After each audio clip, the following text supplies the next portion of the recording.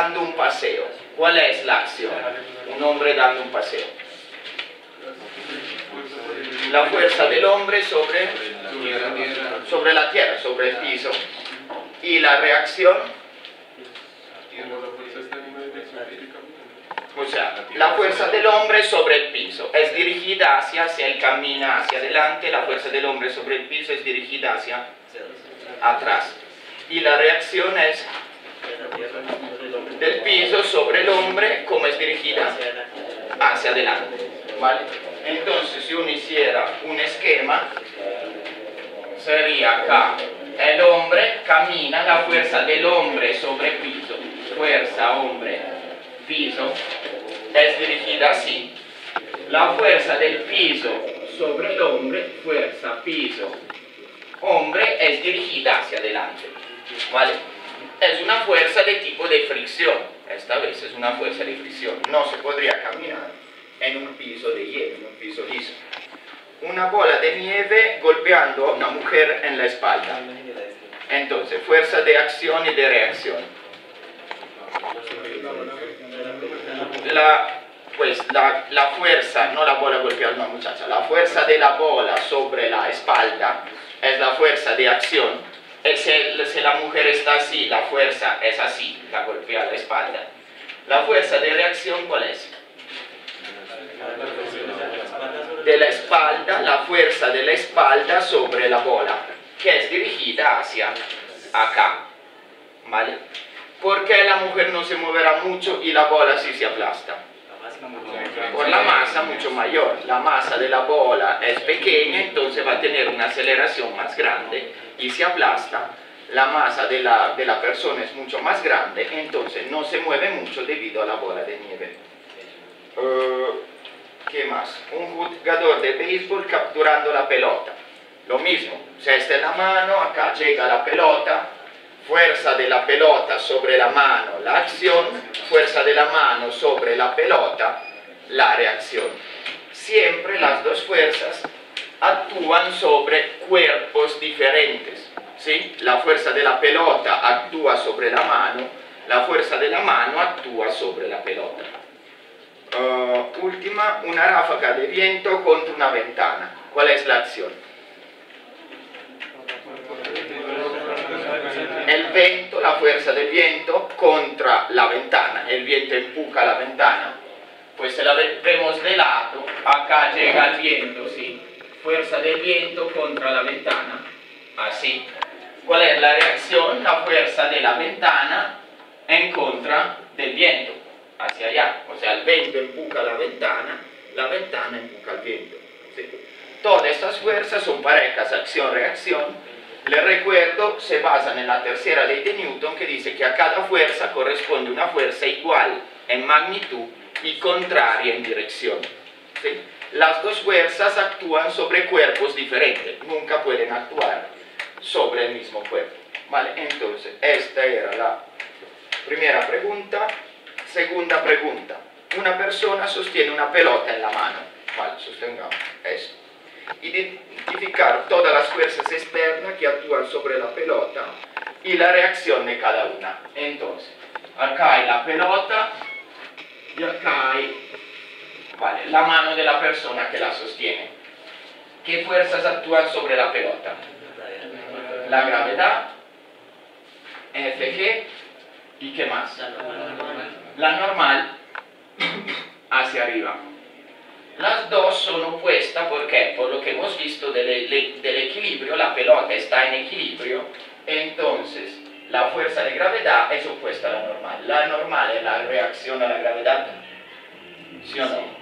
No. No. Le, ya le dije la clase pasada, la normal nunca es la reacción a la gravedad. ¿Por qué? Porque actúa sobre el mismo cuerpo, actúa también sobre la pelota. Entonces, ¿cuál es la reacción a la fuerza de gravedad? La fuerza de gravedad es la fuerza de la Tierra sobre la pelota, ¿correcto? ¿Cuál es la reacción? La pelota sobre la Tierra. La pelota atrae la Tierra hacia arriba. Esta es la reacción a esta.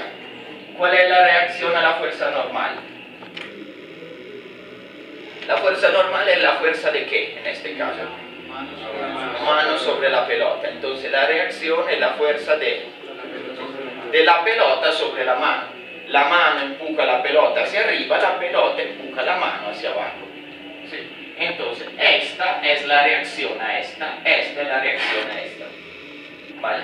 Como ven, acción y reacción siempre actúan sobre cuerpos diferentes.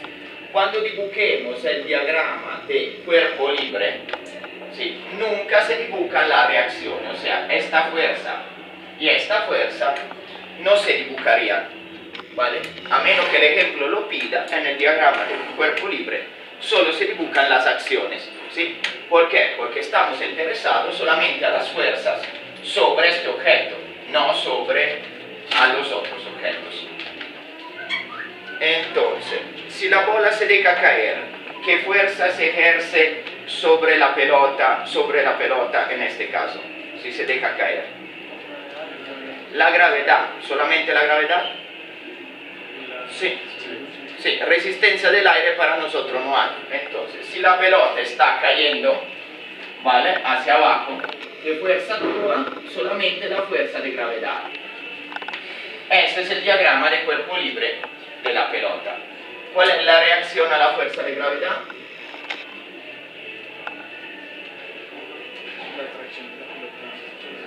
Exactamente, o sea, siempre piensen qué es la fuerza de gravedad. Para encontrar la reacción tienen que pensar de la fuerza de qué sobre qué. La fuerza de gravedad, ¿qué es? La fuerza de tierra sobre la pelota. La reacción será pelota sobre tierra, solo es invertir los términos. Tierra sobre pelota, fuerza de pelota sobre tierra. O sea, la tierra hace caer la pelota, la pelota jala la tierra hacia arriba, pero como la tierra tiene una masa mucho más grande, no se mueve, casi no se mueve. ¿Vale? Entonces, esto eran las dos preguntas. Entonces, ahora el problema, el 22, el compañero. Mientras borro acá.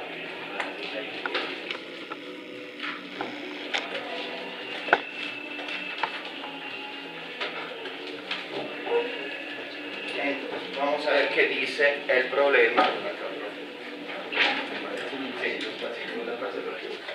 Entonces, algunas ya vamos en las aplicaciones de la ley de Newton. Entonces, tenemos una masa de 3 kilogramos que se mueve en un plano.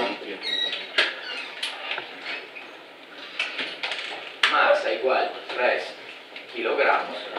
Se mueve sobre un plano y su coordinata x es x igual 5t al cuadrado menos 1, menos 1, coordinata y es 3t al cubo, 3 por t al cubo más 2. Es un movimiento bidimensional, ¿sí? donde la x está acelerada y la y está acelerada, y de hecho no es con aceleración uniforme, porque la y es al cubo. Entonces, donde x está en metro y t en segundo. Encontre la magnitud de la fuerza neta que actúa sobre esta masa en t igual fuerza neta que actúa sobre la masa para t igual 2 segundos. Entonces, ¿cómo encontramos la fuerza? ¿Qué tenemos que encontrar primero? La aceleración. ¿Cómo encontramos la aceleración? Derivando cuántas veces? Dos. Entonces, derivamos con respecto a la t y hacemos ax, pues ax. Será, ¿cuál es la derivada segunda? Pues la primera derivada sería 5t, ah, entonces esto es bx, bx, bx es 10t, y ax, derivada de 10t, 10. Segundo y, v, no v, uh, v como el otro también, como velocidad. Es que me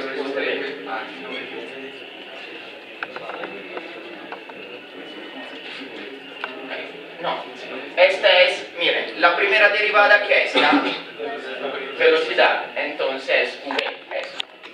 El otro VG es 9t al cuadrado. Y AG es 18 2 por 9, 18t ¿vale? entonces este es a X, este es a Y ¿cómo encontramos la fuerza? Fuerza igual masa por la aceleración entonces Fx será esto por la masa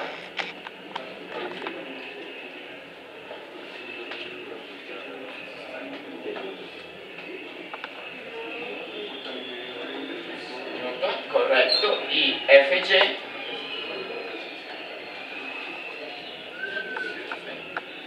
18t por 18 por 3 ¿cuánto le da? 54 54 t newton ¿vale? ¿qué significa este 54 t newton? significa que la fuerza no es constante es una fuerza que varía con el tiempo ¿vale? pero no hay problema siempre podemos utilizar la ley de Newton la segunda ley aunque la fuerza no sea constante. Vale, le repito entonces el punto antes de seguir. Nos pide la fuerza. Tenemos la posición, la derivamos una vez, tenemos la velocidad, dos veces la aceleración. ¿Vale? Estos son metros sobre segundo cuadrado.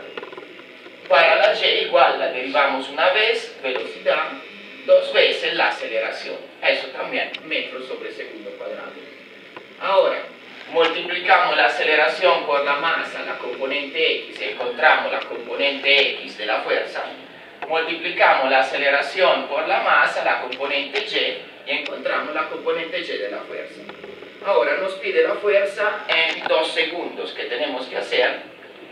Reemplazar la T con el 2. Entonces, Fx queda igual, Fy queda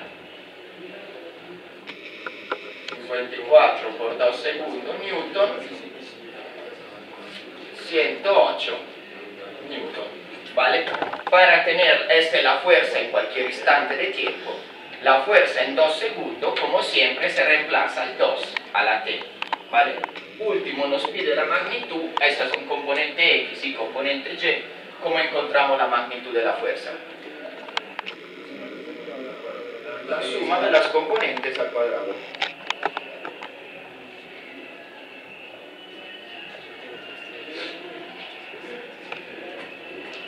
Entonces, ¿qué le da al final la magnitud de la fuerza? Entonces, ¿sí me? 112. 112. Perfecto. 112 ¿Vale? Gracias entonces al compañero. Este ejemplo no era difícil, sí podía parecer difícil por las ecuaciones, pero en realidad, se acuerden, esto es lo que siempre le repito, como ven, los temas del, segundo, del capítulo del movimiento rectilíneo siempre van a entrar acá, definición de velocidad, aceleración y todo esto, siempre va a entrar en todos los problemas.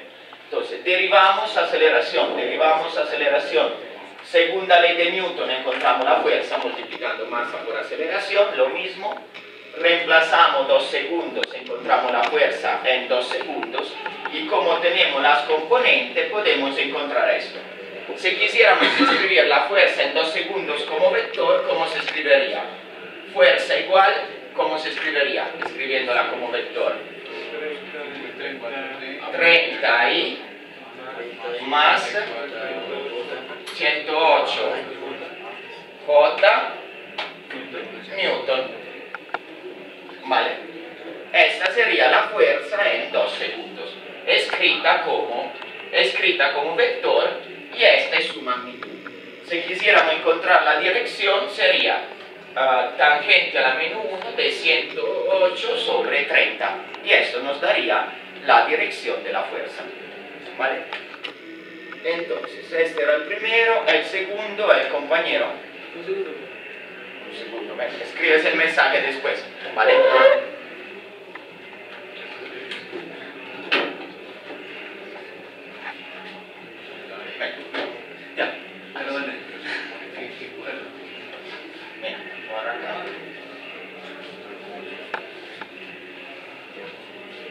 Entonces, la distancia entre dos postes del teléfono es 50 metros. Entonces, dos postes del teléfono y la distancia entre ellos es 50 metros.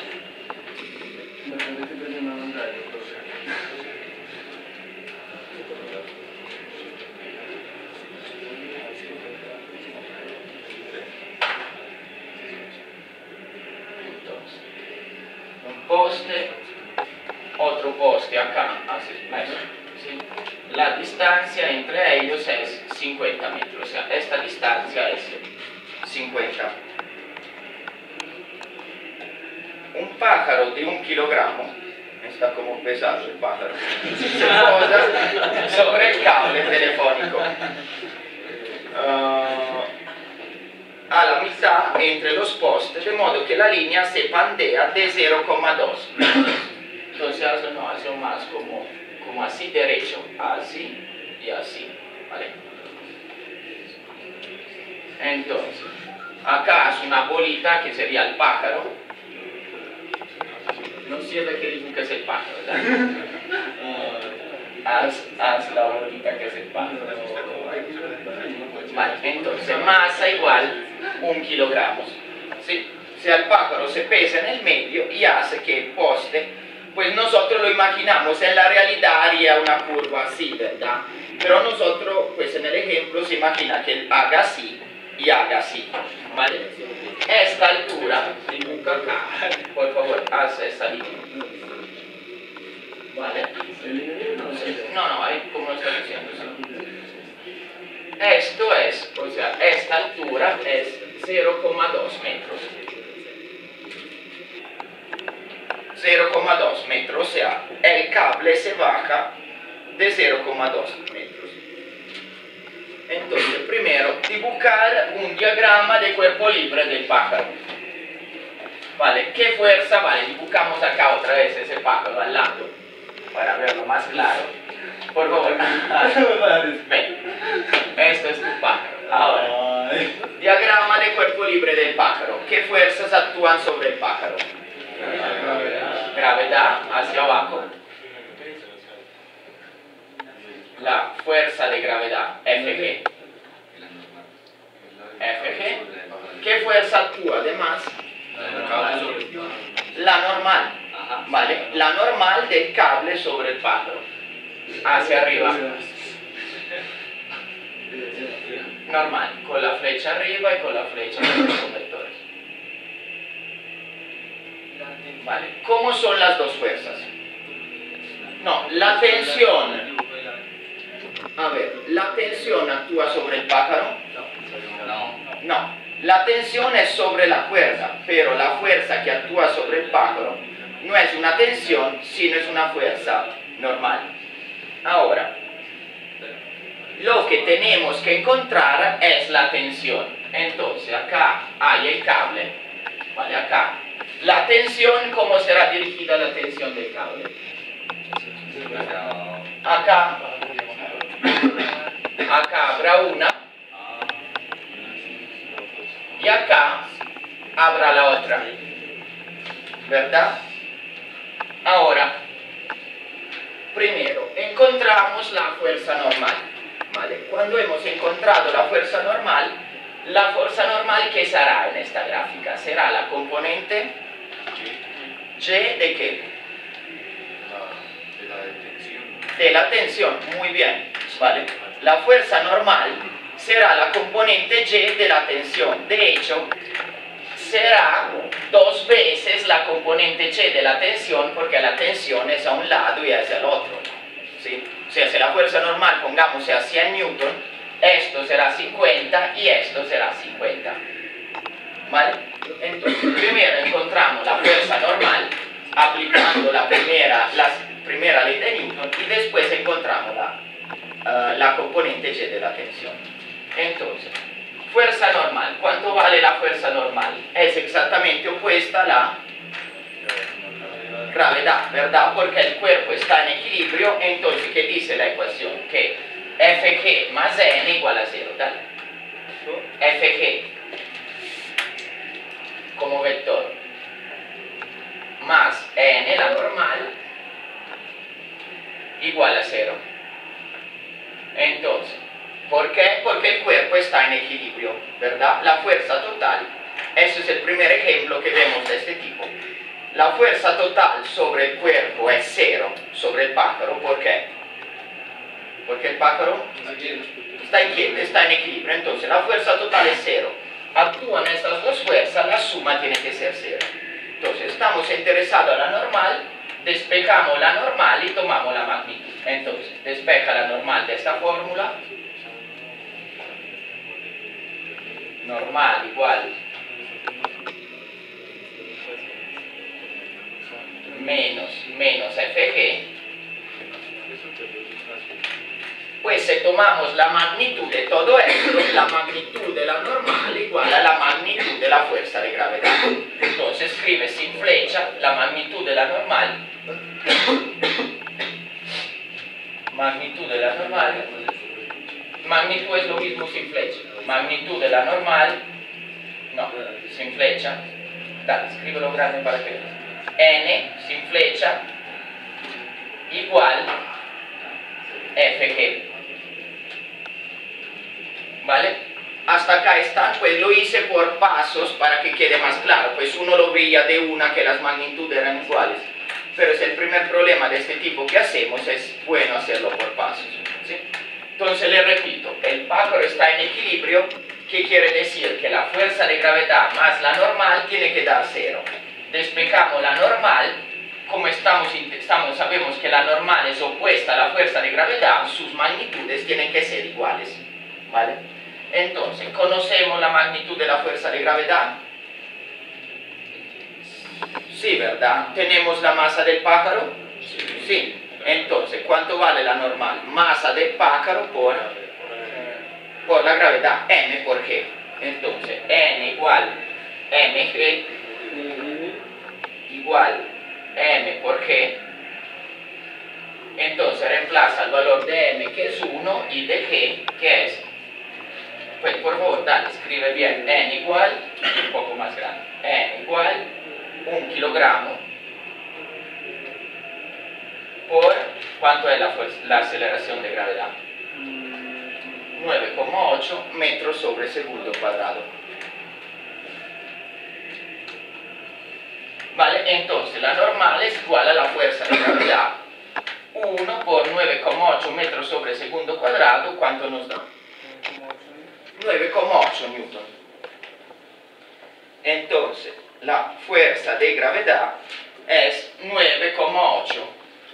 La fuerza normal es 9,8 newton. N mayúsculo.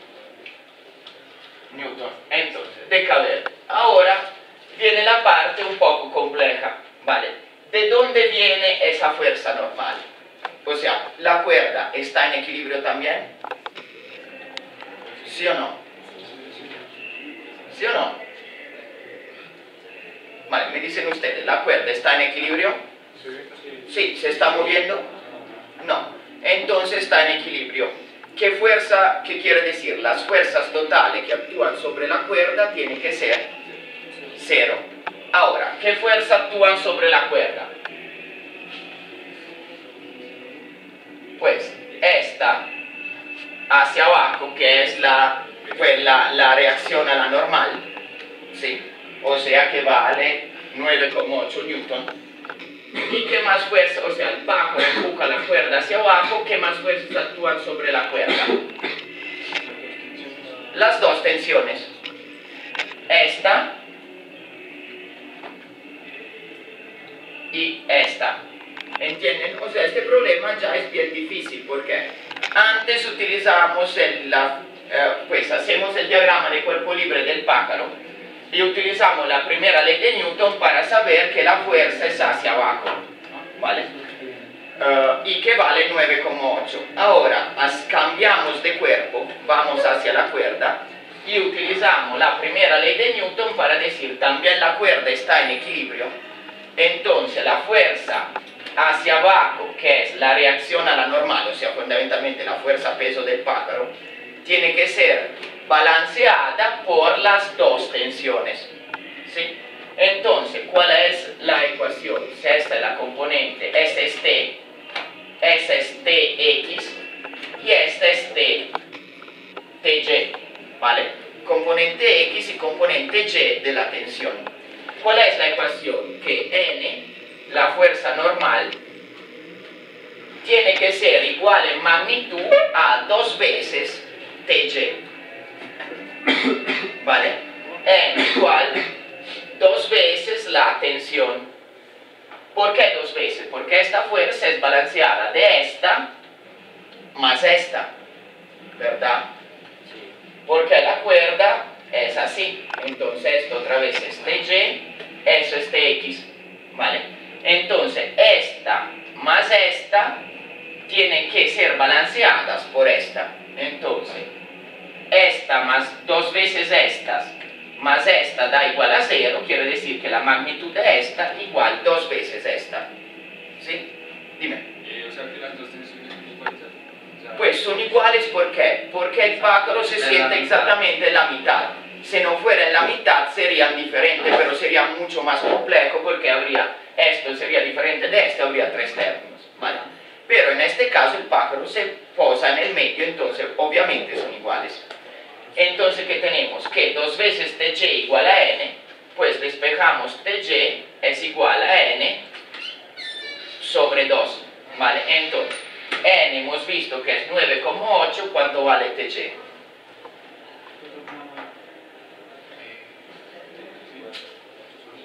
9,8 newton sobre 2, 4,9 newton. 4,9, 9,8 sobre 2. Newton, acá por newton y acá por newton. Vale, entonces hemos encontrado la componente Y de la tensión. ¿Cómo encontramos esta componente?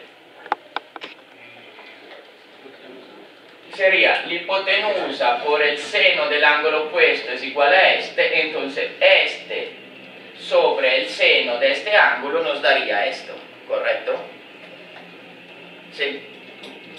Mira, este ángulo llamámoslo θ. ¿Cuál es la ecuación? T por seno de θ nos da TY, ¿correcto? Entonces, T por seno de teta igual a TY, la componente Y, ¿vale? Entonces, T igual tg sobre seno de teta, ¿vale? Tg es lo que conocemos, ¿vale? ¿Qué nos hace falta? Nos hace falta encontrar teta. ¿Cómo encontramos teta? Sabemos que esto es 50 y esto es... No, que esto es 50 y esto es 0,2. Entonces θ igual tangente a la menos 1 de y sobre x. De y que es 0,2 metros sobre la componente x. ¿Cuánto es la componente x? 25 metros, no, 50 es la mitad, ya te respondo. Sobre 25 metros. Dime, No, es que si es que antes había dicho que 50, pues, pero la mitad, pues, 25. la mitad. Sí. Entonces, primero calculemos θ y después calculemos t la tensión. ¿Cuánto les da θ el ángulo? Tangente a la menos 1 de 0,2 sobre... ¿Cuánto les da?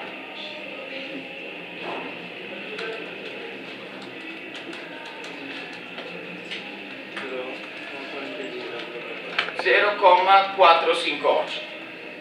Teta es muy pequeño, sí, porque el cable no se baja mucho. 0,458 grados. Y ahora, pues, T igual, TY, pues reemplaza los valores, TY es 4,9 newton sobre el seno de 0,458.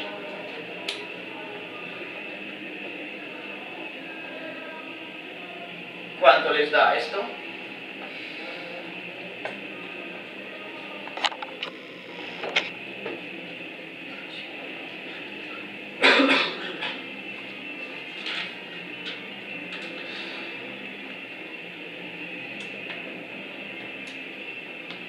612. 612, perfecto. Vale, 613 Vale. Entonces, este es el resultado. Ahora, gracias. Vale, le repito.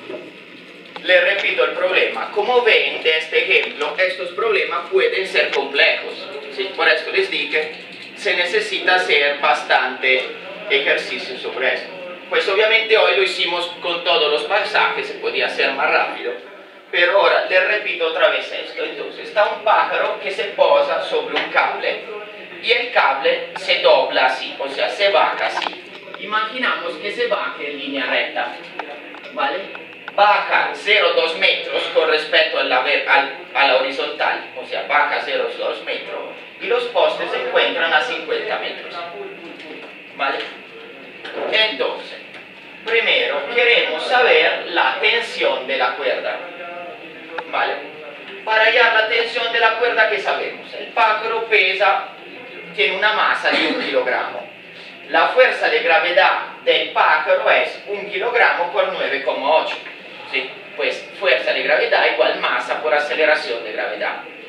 La fuerza de gravedad tiene que ser igual a la normal, ¿sí? y la normal tiene que ser igual a la fuerza del pájaro sobre la cuerda, porque si la cuerda es una fuerza normal hacia arriba, el pájaro responde con una reacción hacia abajo. Ahí estamos aplicando la tercera ley de Newton. Entonces hemos aplicado primero la primera ley de Newton para decir que la fuerza hacia abajo de gravedad y la fuerza hacia arriba de normal tienen que ser iguales. ¿sí? Aplicamos la primera ley porque el pájaro está en equilibrio. Después aplicamos la tercera ley para decir la fuerza del pájaro sobre la cuerda es igual o opuesta a la fuerza de la cuerda sobre el pájaro. Entonces llegamos que las tres fuerzas, las tres tienen que ser 9,8. ¿Vale? Ahora le hice todo el discurso largo, pues uno podía saber de una la fuerza del pájaro sobre la cuerda es 9,8. ¿sí? Pero para ver las, las leyes que se aplicaron. Entonces, la fuerza del pájaro sobre la cuerda es 9,8 newton hacia abajo. Ahora, este punto de la cuerda, si quieren, está en equilibrio. Sí. ¿Por qué no se mueve? ¿Qué quiere decir? Que esta fuerza hacia abajo tiene que ser balanceada por fuerzas hacia arriba. ¿Cuál es la única, las únicas fuerzas que actúan acá? Es la fuerza hacia abajo de una y dos tensiones que son iguales, ¿verdad? Son iguales porque el pájaro se posa en el medio. Entonces, esta fuerza hacia abajo es balanceada por la componente Y de la tensión y por la componente Y de la otra tensión, ¿correcto? Entonces, ¿cuál es la ecuación? N, la fuerza hacia abajo del pájaro, la normal o la fuerza de gravedad, como quieran, ¿sí? es balanceada por dos veces la componente Y de la tensión. ¿sí? Esta es la ecuación que después no resuelve el problema. La fuerza normal, o sea, la fuerza hacia abajo del pájaro, es balanceada por esta más esta. ¿Sí? Porque verticalmente está en equilibrio. ¿Correcto? Ahora, n igual 2tg, despejamos tg igual a n sobre 2.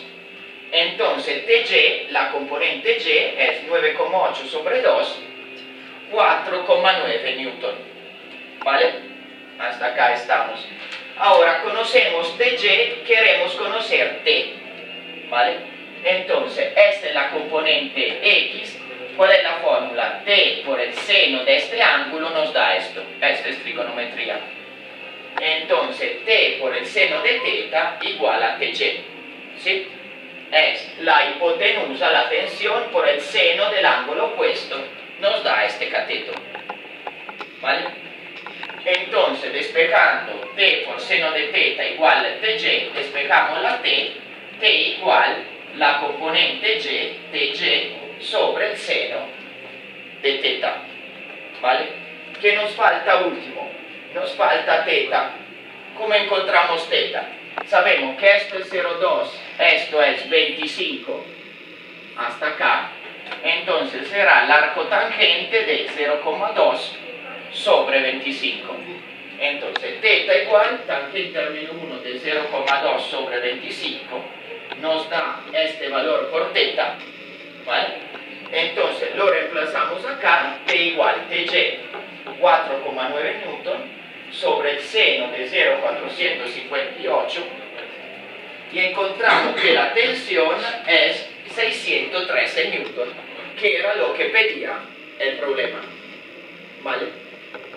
Si no hubiera pájaro, no habría tensión sobre la cuerda, o sea, la tensión la genera el pájaro.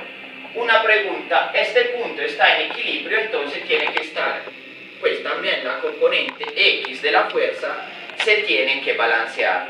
Entonces, por ejemplo, acá, esta TX, ¿vale? ¿Qué es que balancea esta TX? La otra TX al otro lado. O sea, las dos TX son opuestas y se balancean solas. La TG no son opuestas y no pueden balancearse, son balanceadas por el pájaro. ¿Vale? Entonces ven, pues ahora lo hicimos con todos los pasos, pero para estos problemas toca hacer un estudio a veces complejo.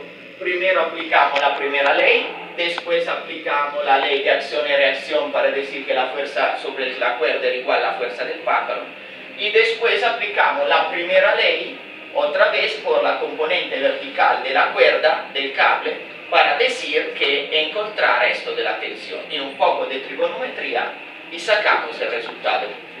¿Vale? Uh, ¿Alguien logró hacer este problema? Nadie, sí, esto es difícil. Pues ahora con el tiempo vamos a hacer problemas de este tipo, tienen que ser capaces de resolverlo aplicando las leyes de Newton. Entonces, como les había dicho, las leyes de Newton son sencillas, ¿sí? Pero las aplicaciones son complejas, por esto vamos a hacer ejercicios sobre esto. Vale, entonces, clase de hoy simplemente seguimos haciendo ejercicios. Vamos a ver primero el ejemplo, el 5.4, el ejemplo resuelto del libro. 5.4 lo que dice un semáforo en reposo. ¿Vale? una grabación a toda la página acá.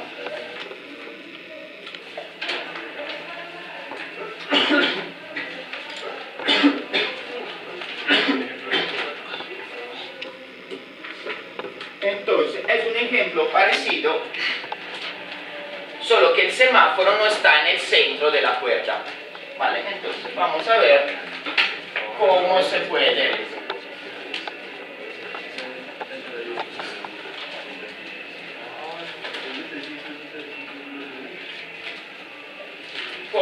cómo se puede resolver entonces ejemplo 5.4 dice un semáforo pesa 125 newton entonces FG la magnitud de la fuerza de gravedad sobre el semáforo es 125 newton. Cuelga de un cable unido a dos cables fijos a un soporte. Entonces el dibujo es algo así. Así.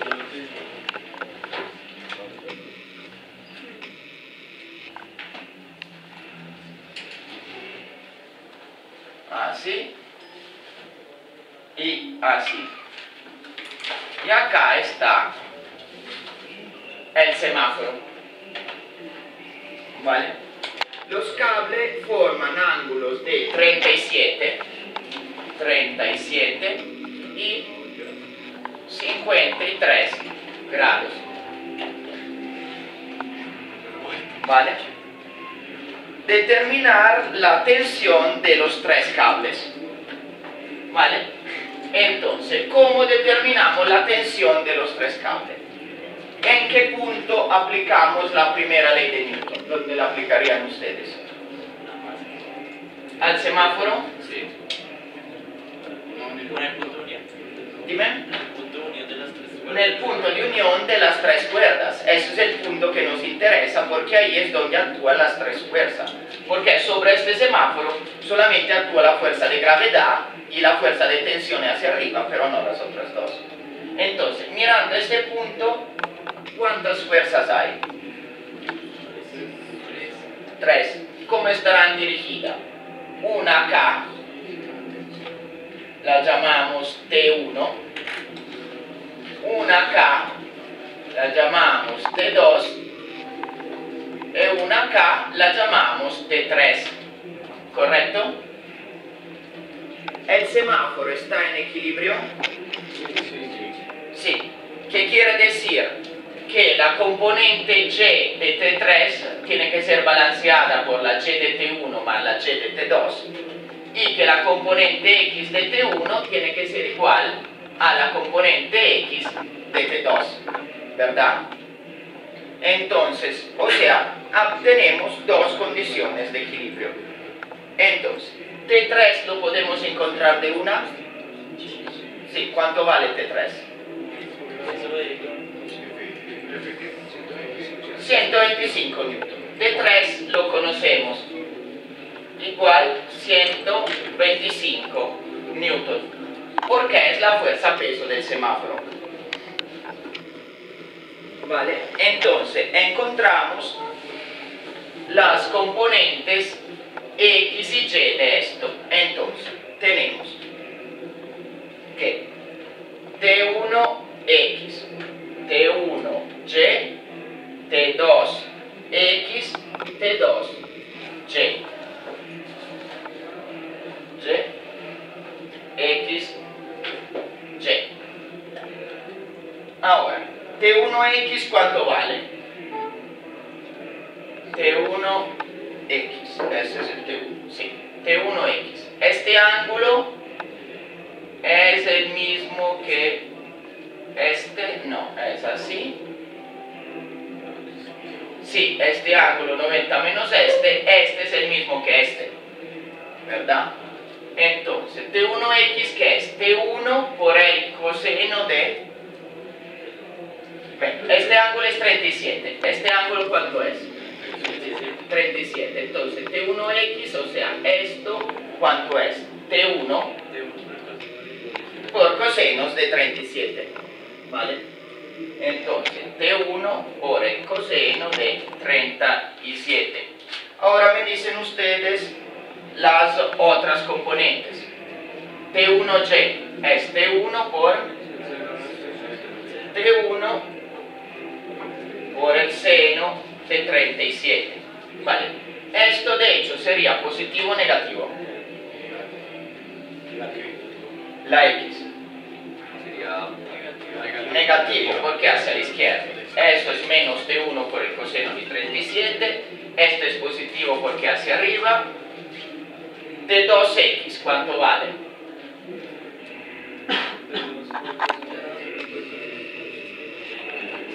De 2 por el coseno de, ¿cuánto es? 53.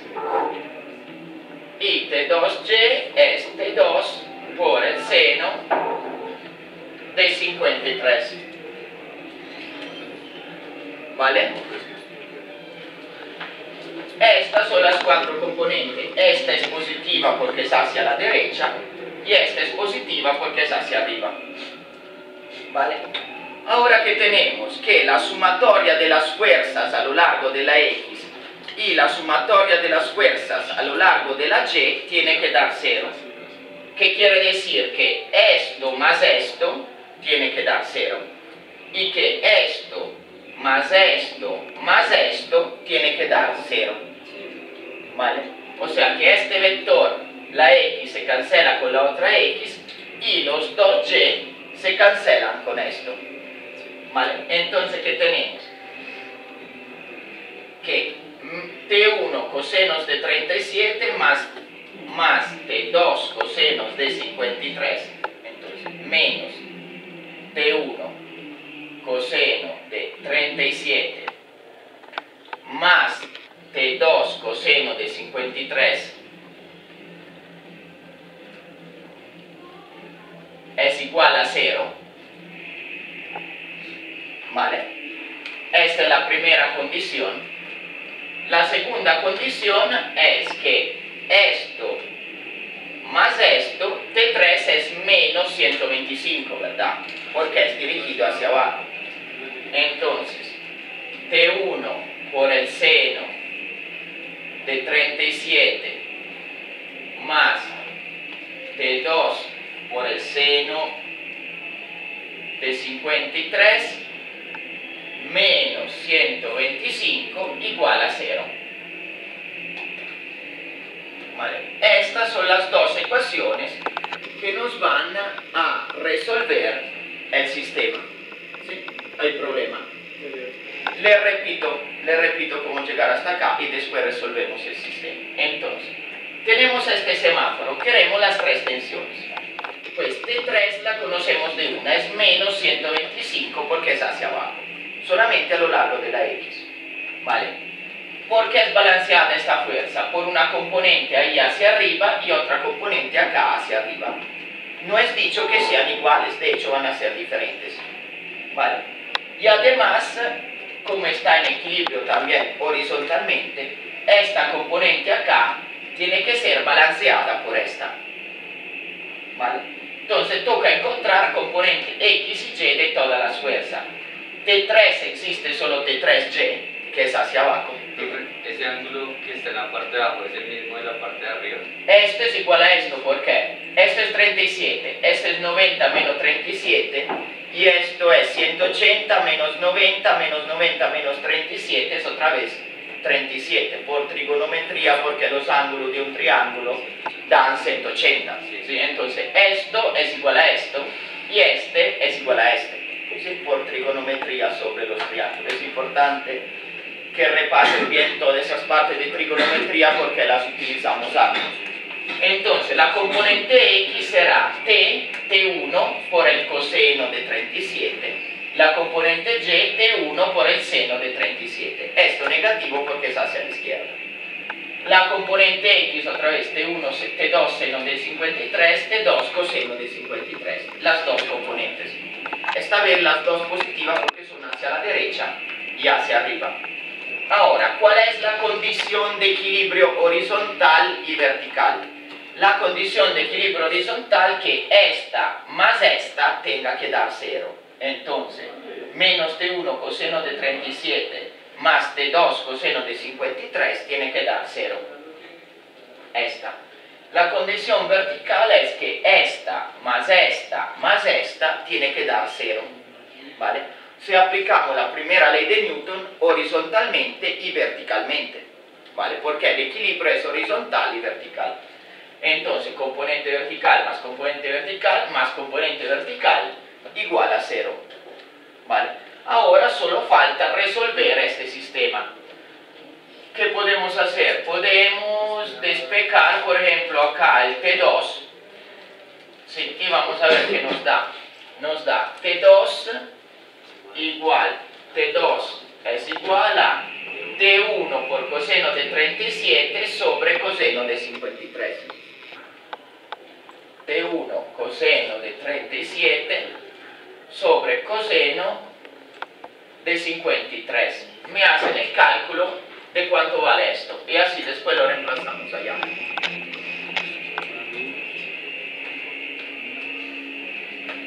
Pues T1 no, solamente coseno de 37 sobre coseno de 53, obviamente.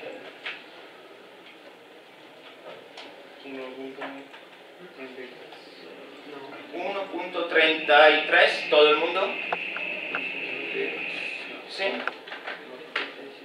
Entonces, T2, esto nos da que T2 es igual a 1.30 33 T1. ¿Vale? Entonces, ¿qué podemos hacer? En lugar que T2, reemplazar 1.33 T1 en la de abajo. Entonces nos queda T1 por seno de 37 más T1 por 1,33 por seno de 53 igual 125. Entonces, factor común T1 nos da T1 por el seno de 37 más 1,33 por el seno de 53 es igual a 125, ¿vale? Simplemente he reemplazado el valor de T2 acá, ¿ven? Y, y he sacado a factor común el T1. Llegan hasta acá, ese es solo cálculo.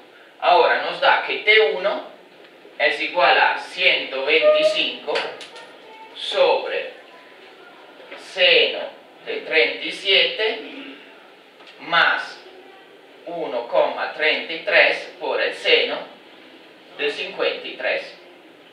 Me hacen este cálculo poniendo bien las paréntesis, ¿sí? Y vamos a ver cuánto les da T1.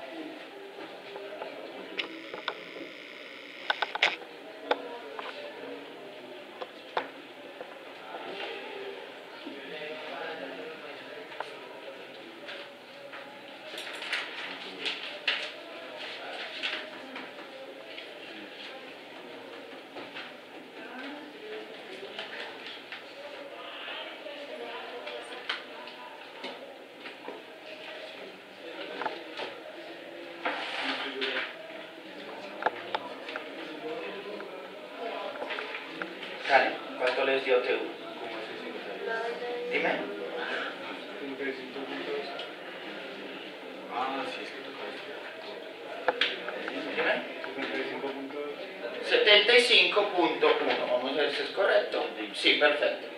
Entonces T1 le da 75.1, pues es una tensión, Newton. Entonces tenemos T1, ¿verdad?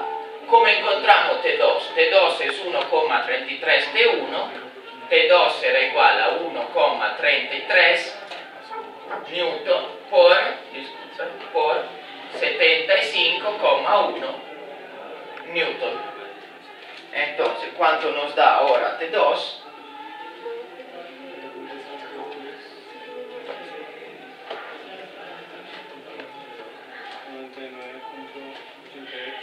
¿99.88? 99.9 99.9 Newton. Entonces, le repito esto, ¿vale? La primera parte hasta las ecuaciones ya la hemos vista, ¿sí? Acá es solamente resolver este sistema, ¿sí? Entonces, lo resolví por sustitución. Despejé T2 en la fórmula de arriba y pues calculé los valores de seno y coseno. Como son números, no hay, no hay, no hay variables, se puede calcular el valor. Entonces, calculé los valores de seno y coseno reemplacé el T2 en la ecuación de abajo y otra vez hice los cálculos. Encontramos que T1 es 75 y que T2 es 99 Newton. ¿Vale? Es, un ejemplo parecido a lo de antes del pájaro. ¿Cuál es la diferencia? Que los ángulos son diferentes. Entonces, como les dije, es un poquito más complejo porque se tienen que hacer cálculos diferentes. Porque el 125 se le agrega la tensión 2, no a la otra, a la otra. No, no es que se le agrega la 2 su la 1, mira, hay T1, T2 menos 125, sumamos las 3. Sí, pero digamos en la de arriba, pues. En la de arriba no hay porque esta es la componente X y esta es la componente Y. Ah, ya, ya, ya. O sea, este es el equilibrio con respecto a la X, entonces sumé las dos X. Ah, sí, ya. Esta no tiene componente X. ¿sí?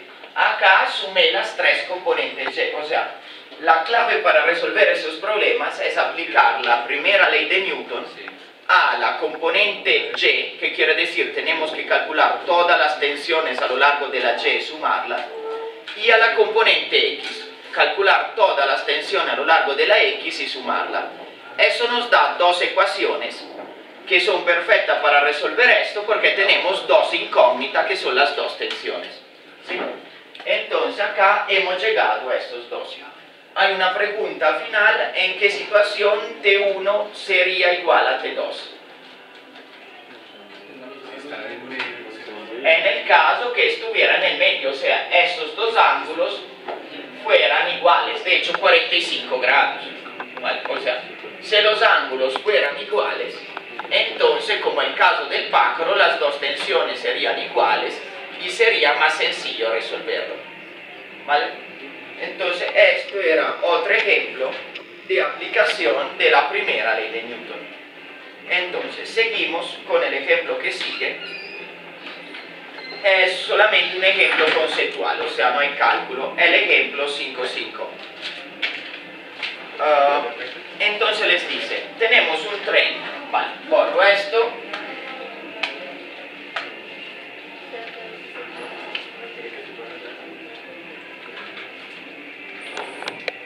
y los carros del tren están conectados por junta que están bajo tensión conforme a la locomotora empuja el tren.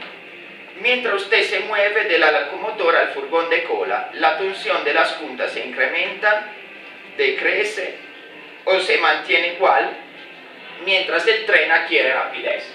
Entonces hay un tren, vagones, y acá la locomotora. ¿Vale? Acá habrá una T1, T2 y T3. El tren tiene una aceleración hacia allá. ¿Vale? Tiene una aceleración hacia la derecha. ¿Sí? Ahora, esta tensión, T1 será más grande, más pequeño o igual a T2 y T3. T1 será más grande. T1 será más grande, ¿por qué? ¿Cuánto será la tensión de, U- de T1? Será la aceleración del tren por la masa de qué? De los tres vagones. Entonces, T1, pongamos que los vagones tengan todo masa M, T1 será igual a A por cuánto? A por 3M. Entonces 3A por M. M. ¿Cuánto será igual T2? ¿Cuánto será igual T2? A, o sea, 2 por A por M. Porque T2 jala solamente dos vagones. ¿Cuánto será igual T3? A por M. O sea, si todos los vagones son iguales, esta tensión es tres veces, es 3, 2, 1. ¿Vale? O sea, esta es tres veces más grande que esta. ¿Vale? Eh, si, el vago- si el tren fuera con velocidad rectilínea uniforme, o sea, no acelerara, ¿cuánto valdría esta tensión? Cero. ¿Por qué? Porque, pues, la aceleración sería cero. Entonces, ¿los vagones están en equilibrio en este caso? No, ¿verdad? Estamos en un caso donde se aplica la segunda ley de Newton. ¿vale? Entonces, las tensiones van decreciendo. Esta es la punta que padece la mayor tensión, es más fácil que se rompa esta, después esta, después esta, después esta. Ah, Ahora. El tren, en lugar de acelerar, frena. T3 es igual a por M. ¿Vale? ¿Cuál es la punta que soporta la mayor compresión? Esa no es más tensión, compresión. La 1 o la 3 cuando el tren frena. La 1 otra vez. Porque la 1 soporta la compresión de los tres vagones de atrás. O sea, no cambia nada. Cuando el tren frena, simplemente la aceleración es dirigida hacia allá. Pero pues no cambia nada. La masa siempre, esto soporta la masa de esto más esto más esto. Esto solamente de esos dos y esto de esos dos. ¿Sí? Entonces, que el tren frene o que el tren acelere, la compresión o la aceleración son iguales, mayores para esto y disminuyen para esto. Vale, ya, esta era la, la pregunta. ¿sí? Es lo mismo si tengo varios objetos, imagínese un collar con varias colgando verticalmente, es un collar colgando verticalmente con varias bolitas. La aceleración. Sí. ¿Cuál es la punta que soporta más tensión? Esta va disminuyendo. Sí. si es el contrario, son unos ladrillos en una pared. ¿Cuál es el ladrillo que soporta más presión? En este caso es este y va disminuyendo. ¿Vale? Entonces, todos esos problemas se resuelven lo mismo. Se tiene que ver la, la tensión de esto, tiene que acelerar los tres, la de esto dos, la de esto una. Si hubiera una junta acá, como de hecho hay, y no tienen conectado nada, ¿qué tensión soporta? Cero, porque no tiene, se, se, se despreciamos la masa de la punta, no tiene ninguna, no soporta ninguna tensión, ¿vale? Entonces, este era el ejemplo del tren, vamos a ver un último, Ahí en 3 es, ahí en T3 es AM. ¿qué? Ahí en T3 es ac- aceleración por el Ah, sí, eh. No, no, no, AM. AM. Sí, lo que había, sí, era una, había, no había escrito la, la barrita. AM32 AM. Vale. Ahora, vemos un último ejemplo. El ejemplo el 5, el 5, 6.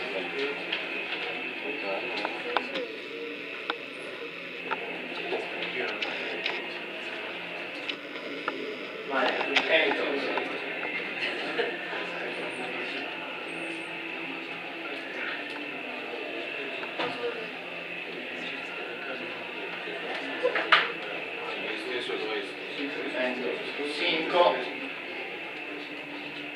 5, 6. Entonces, una caja de masa M se coloca sobre un plano inclinado sin fricción de ángulo θ.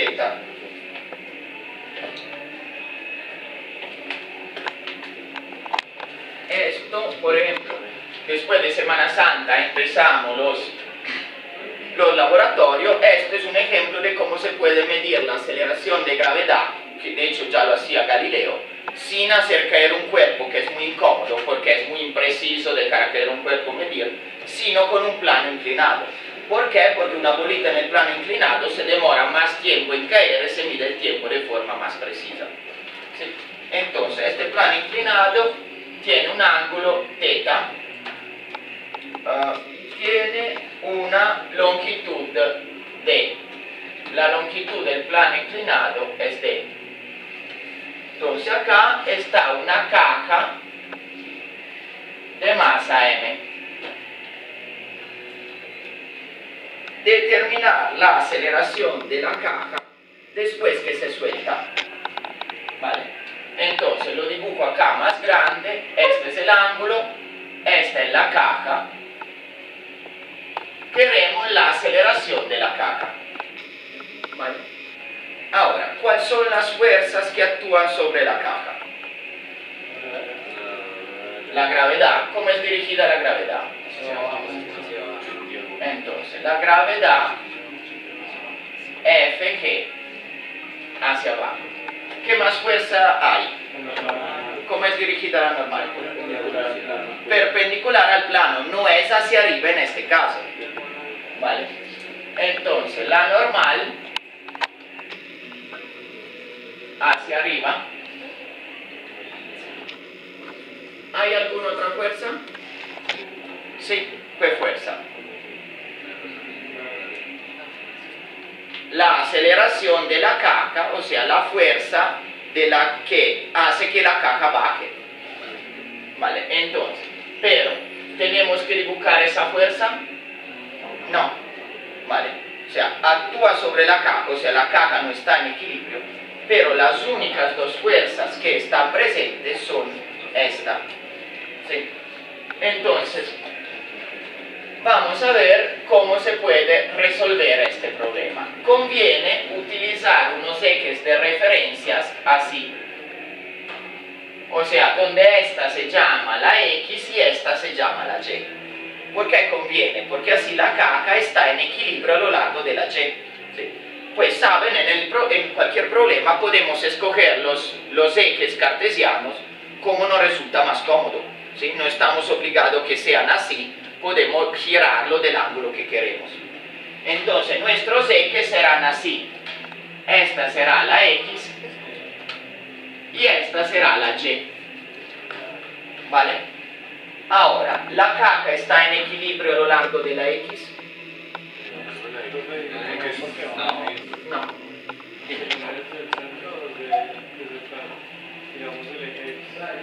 Es lo mismo, porque la caja no hablamos de caja sino de punto, no se olviden esto. La caja es una partícula, entonces no tiene un tamaño. Tenemos que imaginarla como una bolita que baja, puesta ahí. ¿Vale?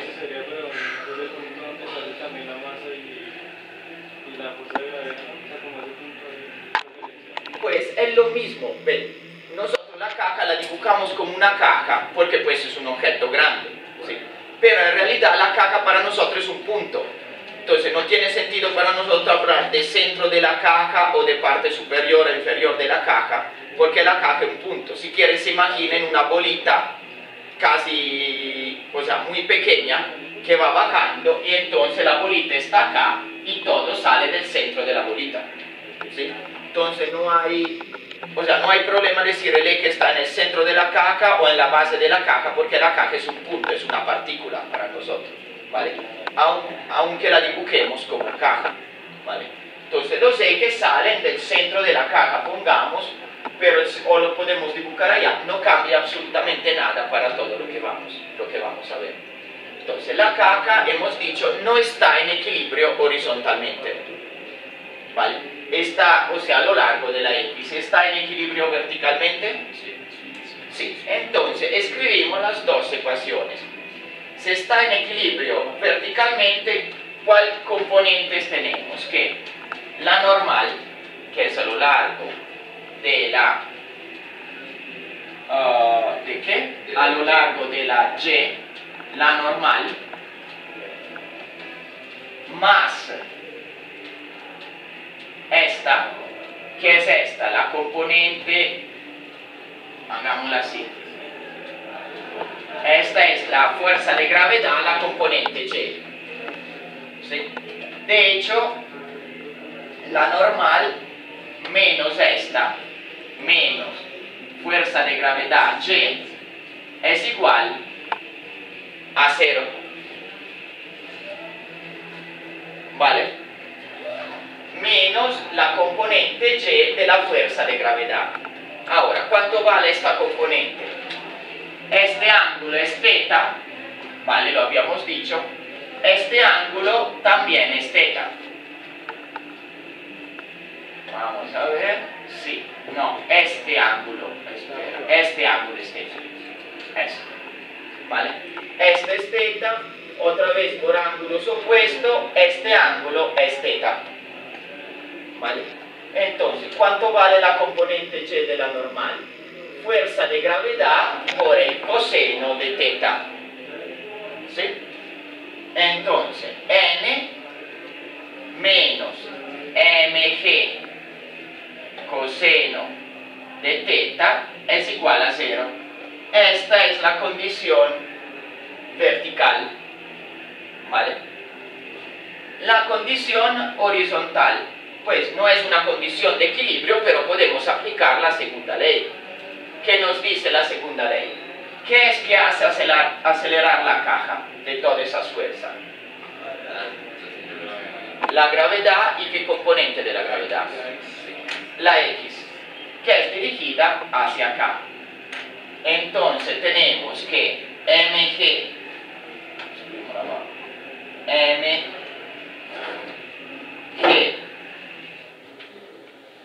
ah, por el seno. De θ, o sea, esta, es igual a, esta es la fuerza, es igual a qué, como que dice la segunda ley de Newton. Es igual a masa por aceleración. Es igual a masa por aceleración. Esta es la segunda ley de Newton. ¿Vale? Y esta es la segunda ecuación. ¿Vale? Le repito cómo llegamos hasta acá y después resolvemos el problema. Entonces, la caja se encuentra en el plano inclinado. ¿Vale? Cogemos estos ejes así que es más cómodo. Actúan la normal y la gravedad. La normal tiene solo una componente y. ¿sí? Entonces, normal menos Fg es igual, la componente y de la fuerza de gravedad es igual a cero. Entonces, normal menos mg por el coseno de teta, esto es igual a cero. Primera ecuación, equilibrio vertical, porque la caja no se mueve a lo largo de este eje. Segunda ecuación, tenemos que aplicar la segunda ley de Newton. La única componente a lo largo de la X es la fuerza de gravedad por el seno de teta, o sea, esta.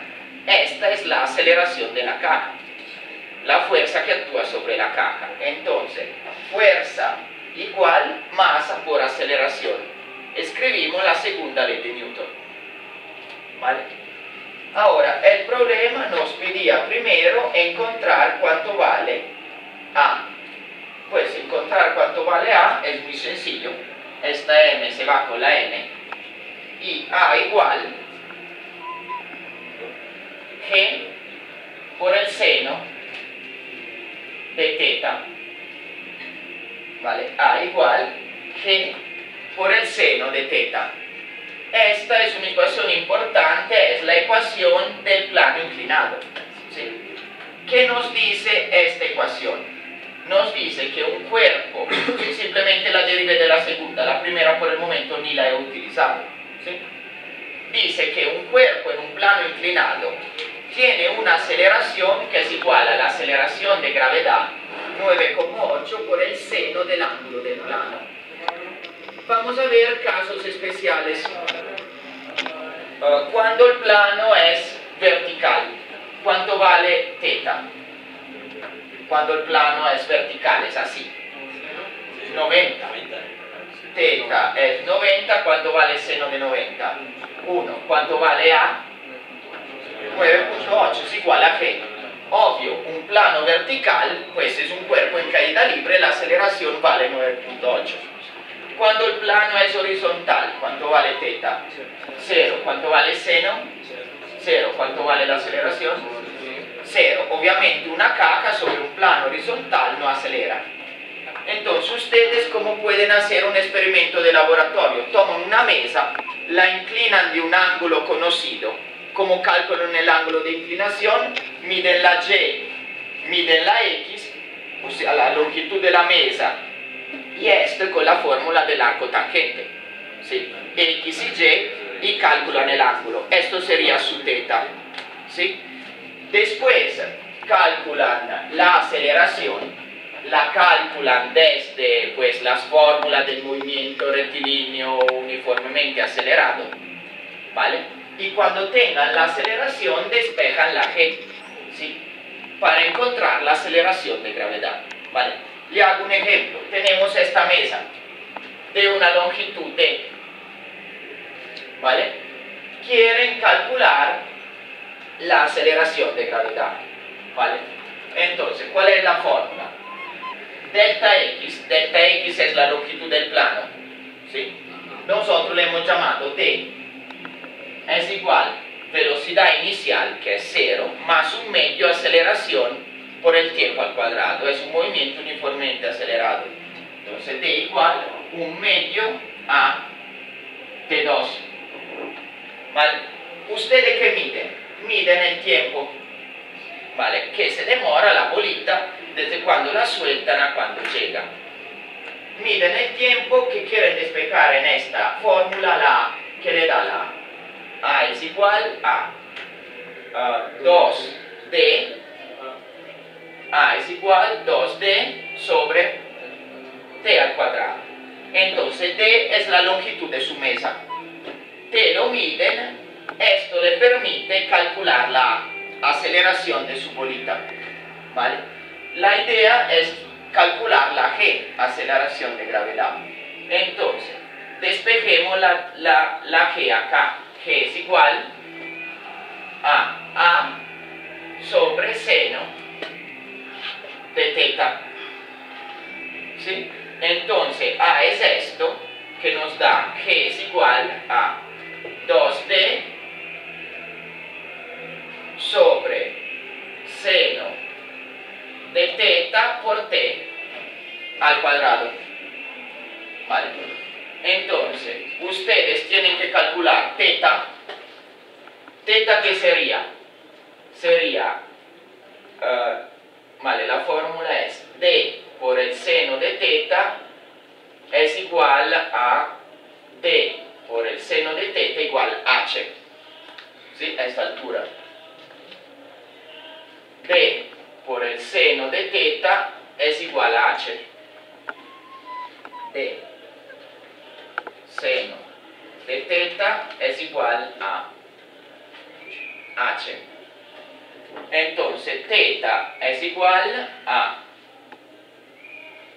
uh, seno de teta es igual a h sobre d, ¿vale? Seno de teta, seno de este ángulo es igual a h sobre d. Entonces podemos reemplazar seno de teta con h sobre d arriba, ¿sí? Que nos da que igual 2d por h por t al cuadrado sobre d, la d se va con la d y que les da g igual a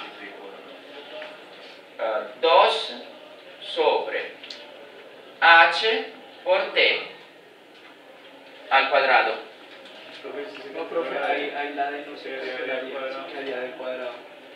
Ah, sí, tiene razón. 2d al cuadrado, así. Vale. Esta es la fórmula que le permite de, calcular la aceleración de gravedad dos veces la longitud del plano al cuadrado sobre h, el cuánto lo elevaron con respecto a la horizontal, por ejemplo, no sé, h acá será 10 centímetros, ¿sí? por el tiempo al cuadrado que ustedes midieron. ¿sí?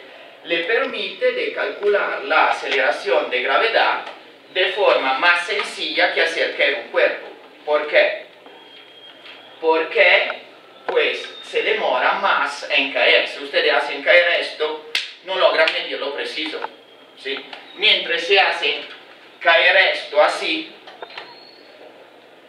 se demora mucho más. Si el plano es suficientemente largo, se demora bastante tiempo, escogen una bolita y pueden medir la aceleración de gravedad. Vale, ¿qué más preguntas tenía el problema? Entonces, vale, le repito también el segundo punto para ver cómo llegamos a esto. Esta fórmula la obtuvimos del primer punto, A igual que por el seno de teta, ¿correcto? Entonces, despejemos la G, G igual a sobre el seno de teta, ¿vale? Ahora, la ¿cuánto equivale? Pues conocemos la, la, longitud del plano y sabemos que esta es la ecuación, un medio A de 2. ¿vale? Ahora despejamos la A, nos da 2D sobre T al cuadrado. Entonces G es igual a A sobre seno de teta, entonces 2D sobre seno de teta por T al cuadrado. Este es igual a G. Pero quiero eliminar teta, que es como incómodo de calcular. ¿sí? Entonces, seno de teta es igual a esto sobre esto. ¿sí? Esa es la definición de seno. Entonces, seno de teta es igual a h, la altura, sobre la hipotenusa. Entonces, seno de teta lo reemplazamos con h sobre d, ¿sí? que nos da 2d sobre h sobre d por t al cuadrado. ¿Vale? La h queda acá, la d va arriba, nos da g igual 2d al cuadrado, d es la longitud del plano, sobre h por t al cuadrado, el tiempo que se demoraron. Es muy sencillo, solo tienen que medir longitud del plano, cuánto lo levantaron de la vertical, el tiempo que se demora en caer la bolita. Entonces esto podría ser un buen experimento sustentándolo con toda teoría para los laboratorios. ¿sí? Esto quiero decir con marco teórico, por ejemplo, ¿se acuerdan cuando vimos los informes de laboratorio y todo eso?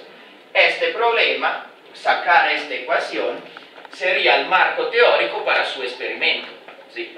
¿Qué serían los materiales? Serían pues el plano, la bolita, el cronómetro, ¿sí?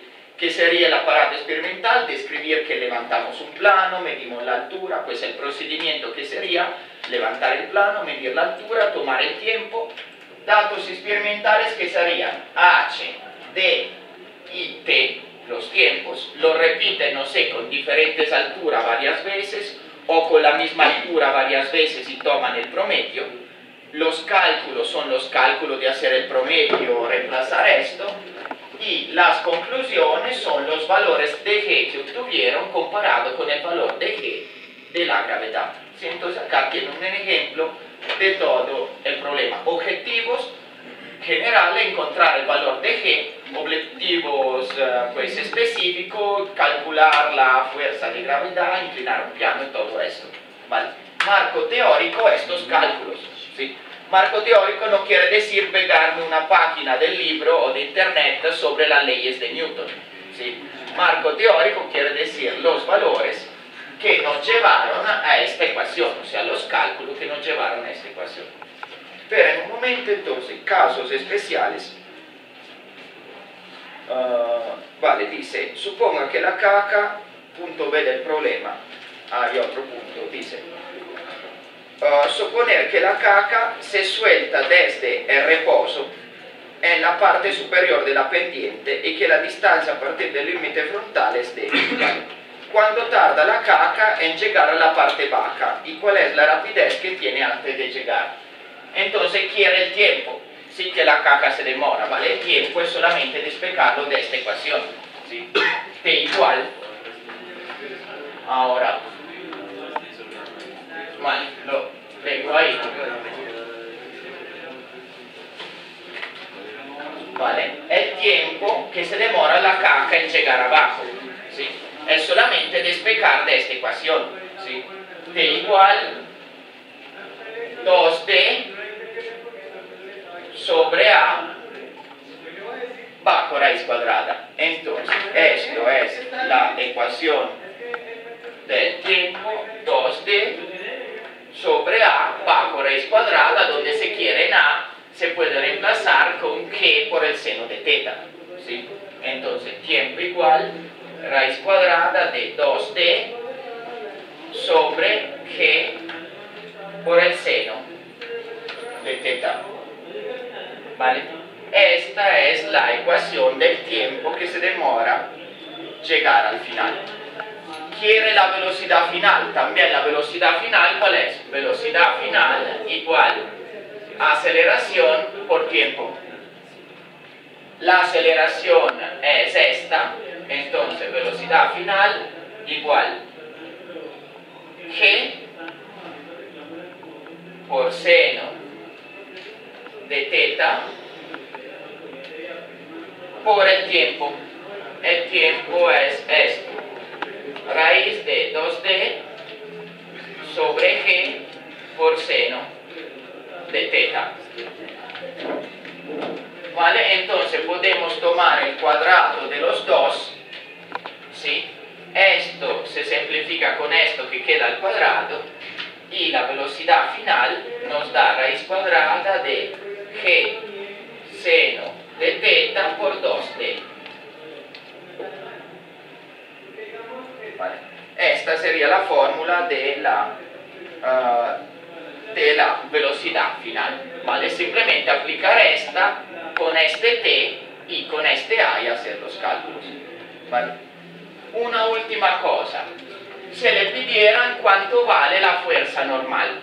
¿Cómo se puede calcular la fuerza normal que actúa, actúa sobre la caja?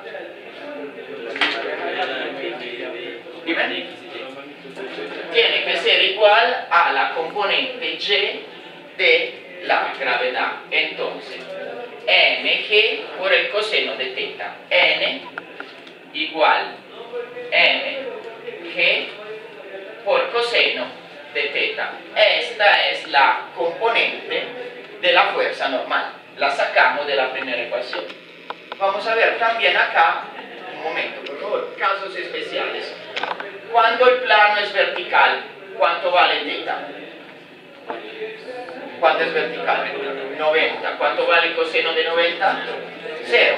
Obviamente, si el plano es vertical, la caja no hace ninguna fuerza normal. Cuando el plano es horizontal, ¿cuánto vale teta? Cero, plano horizontal, cero. ¿Cuánto vale coseno de cero? 1. ¿Cuánto vale n? mg. Cuando el plano es horizontal, obviamente la normal es igual a mg, es igual a la fuerza de gravedad. Todos los casos intermedios están entre esos dos. Entonces el mismo de la aceleración. La fuerza normal es máxima cuando el plano es horizontal, es cero cuando es vertical. La aceleración es cero cuando el plano es horizontal, es máxima cuando el plano es vertical. ¿sí? Entonces este problema es muy importante y le explica toda la teoría, esto se llama plano, plano inclinado. Plano inclinado. Vale, esta era la clase de hoy. Le recuerdo para después de Semana Santa, o sea, el viernes, el viernes no vamos a hacer clase. ¿sí? Para después de Semana Santa, para el martes después, me hacen la pregunta, la 14, y los problemas